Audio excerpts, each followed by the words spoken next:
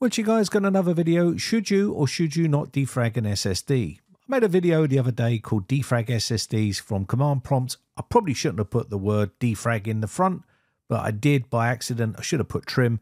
But hey, what you should know is a lot of these comments here are pretty ridiculous, really, because a lot of these people are assuming or thinking that I actually defragged an SSD when all I was doing was putting a command in which had the word defrag in the command, which I think made people think that you're actually defragging an SSD.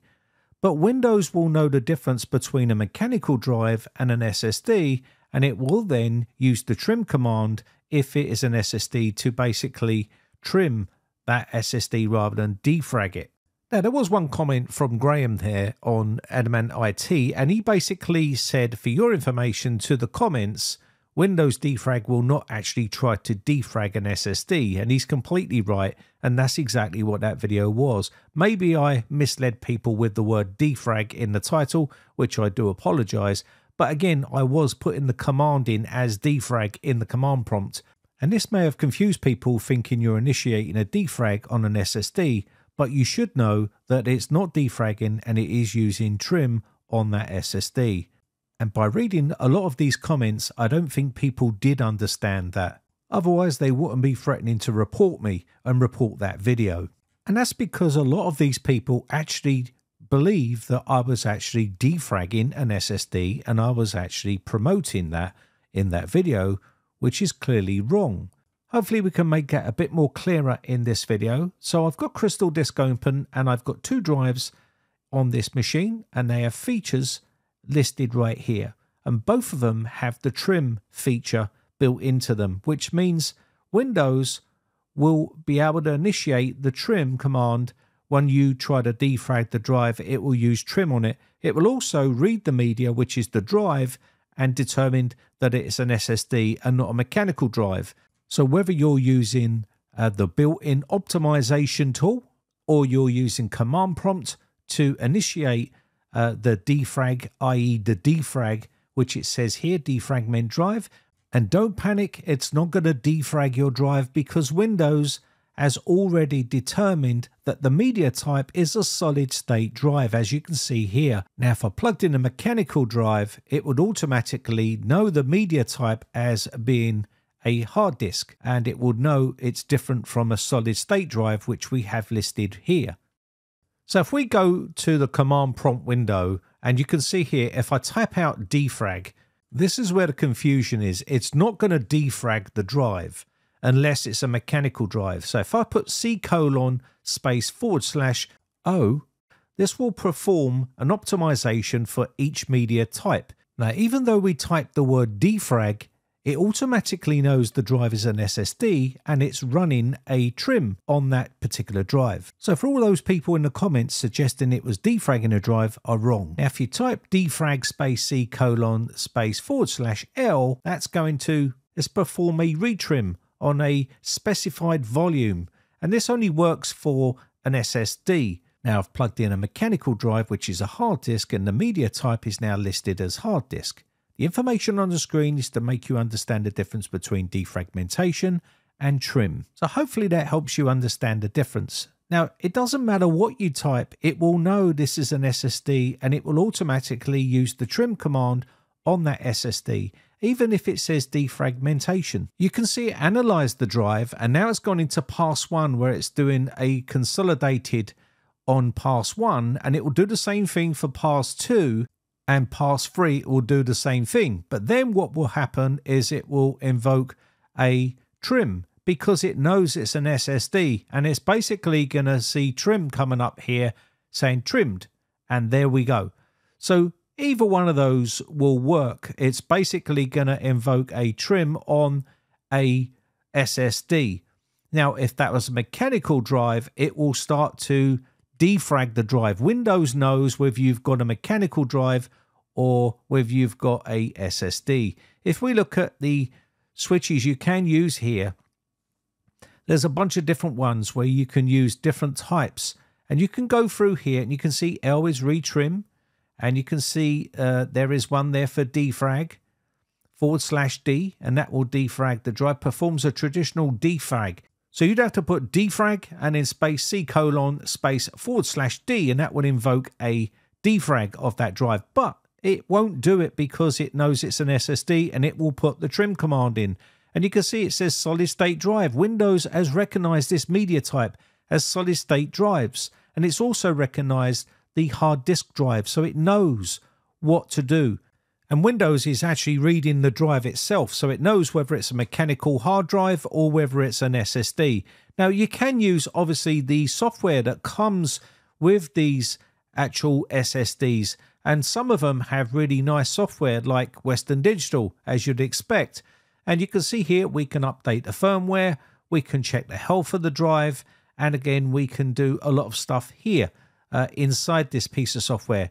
Windows itself will automatically take care of that in the back end. Once you uh, have the drive installed on Windows, it will automatically, uh, you know, optimize the drive. They call it optimizing now or defrag as the tool is known because it is the same tool. It's just been renamed Optimize and Defrag tool.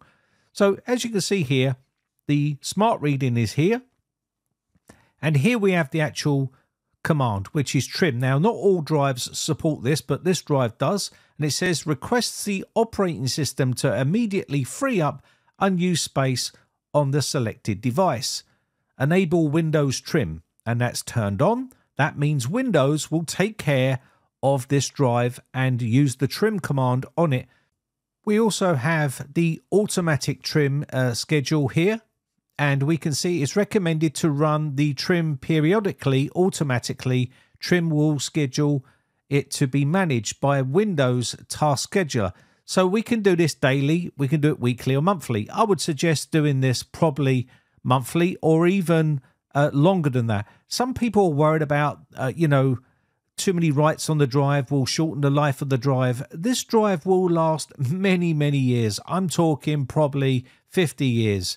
If it doesn't break mechanically, it will probably break before the uh, writes run out on the drive.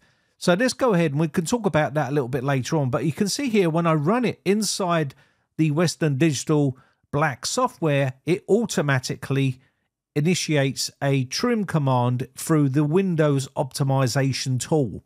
So it's not going to defrag that drive. For all those people in the comments that kept saying you're defragging an SSD, it's not. It's using a trim command. And probably, to be fair, the title did have defrag in the title, which was probably wrong on my part. And I did mention the word defrag in there because I'm typing the word defrag out. I suppose my brain, being an old brain as it is, just gets so used to saying defrag, but it is actually trimming in the back end. So I do know the difference, and I think you should know the difference as well, which obviously a lot of you people clearly don't know the difference because the trim command is for ATA, which is Advanced Technology Attachment Interface, and it's usually enabled by default in modern operating systems, including Windows 10 and Windows 11, Trim will work with the SSD garbage collection process to clean up any sort of garbage that is left on that SSD and organize and optimize that drive automatically for you in the background. And you can see here, this is a third party piece of software, and this will also know whether it's a mechanical drive or whether it's a SSD. And it will either, uh, you know, defrag the drive using the traditional defragging method, or it will go ahead and optimize the drive and use the trim command to clean up that drive, which will literally take, you know, seconds, whereas defragging would take a long time. If you've got a two terabyte drive, defragging that drive, because if it's fragmented, is going to take a long time to completely defrag. And you can see this has been running for quite some time and it's going to take some time yet to fully defrag that drive using this method. And that is the major key difference between a mechanical drive and an SSD. SSDs can be cleaned very quickly, whereas a mechanical drive will take quite a while to defrag and, you know, uh, reconsolidate all of that drive so it works properly. So you can see here running the optimization button as well will trim this uh, drive as well. And that's basically it. So I don't think a lot of people understood this particular thing inside uh, that short video. And maybe I sort of got my wording mixed up a little bit, and I have deleted that video just because of the amount of hateful comments that I got in that video, and I didn't want that. Uh, so I just removed it. And I will redo it and I will try to word it a little bit more clearly and so you guys understand the difference between trim and defrag. And yes, I did put the word defrag in the title, and maybe I should have used the word trim, but hey, I'm not perfect, but I know the difference between trim and uh, defrag, and a lot of you clearly don't, and that is the big problem because you're hating on something that you don't understand because you was assuming that I was actually defragging the drive. And I did actually mention trim inside that video where I said, and that's using the trim command to trim the drive. But it's only 60 seconds, so that's the problem with 60 second format for my particular type of content. Now, I've been running this trim command over and over and over again, and people were worried about it shortening the life of the drive. And yes, it will you know, do more writes to the drive. But I don't think people realized how much terabytes written this drive actually has. And this is just one of the more modest ones. It has 1,200 terabytes uh, written uh, for this particular drive. Let me show you the data sheet for this so you can understand how you can check your drive to see uh, how much terabytes written is on your drive. So I'm going to go all the way down to the bottom of this fact sheet for this particular drive here so you can see.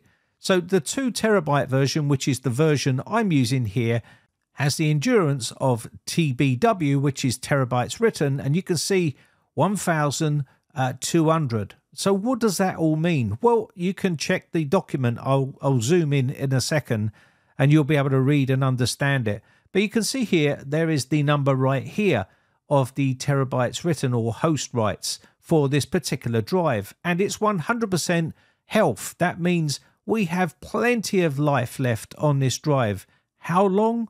Well, if you really want to calculate, uh, by all means go ahead and do so. But you can read this here and it will explain it exactly how long this drive will last. They will give this drive five years or max endurance terabytes written limit for this particular drive, um, whatever uh, occurs first.